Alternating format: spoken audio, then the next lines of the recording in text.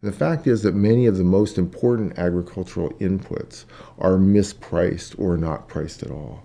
And so business people need to help governments create the property rights systems that will make that scarcity evident to themselves, to their customers, and to their suppliers. We have confronted problems of scarcity in the past, and we have always figured out ways to manage them.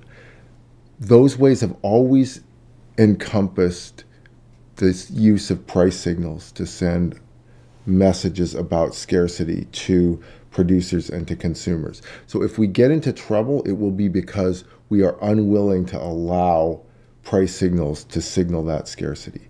Right? If we pretend that things are free, we will use too much of them.